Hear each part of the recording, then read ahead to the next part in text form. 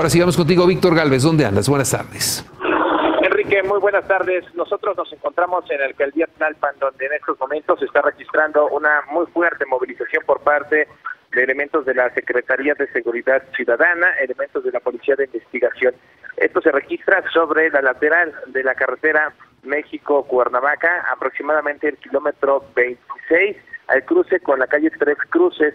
Esto es en la colonia San Andrés Totoltepec, en donde lamentablemente al interior de un establecimiento es un autolavado, hay por lo menos dos personas muertas, se habla de que hay otras dos personas lesionadas y que tras activarse los protocolos de emergencia tuvieron que descender en una ambulancia hacia el Deportivo La Joya y de ahí los trasladaron en un helicóptero Cóndor hacia el Hospital Jojo.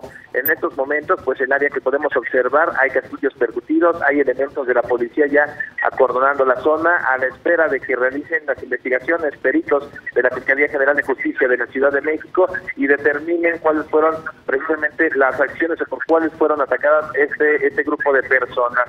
De acuerdo a información preliminar que nos estallan en el lugar, bueno, se trata de sujetos armados que llegan hasta este establecimiento y comienzan, y comienzan a disparar de forma repentina contra ese grupo de personas. El área totalmente acordonada, calles cerradas, es lo que permanece en esta zona de la alcaldía Tlalpan. Repito, es la colonia San Andrés Totoltepec, al cruce con la calle Pérez Cruces y la autopista, y, perdón, y la carretera México-Cuernavaca.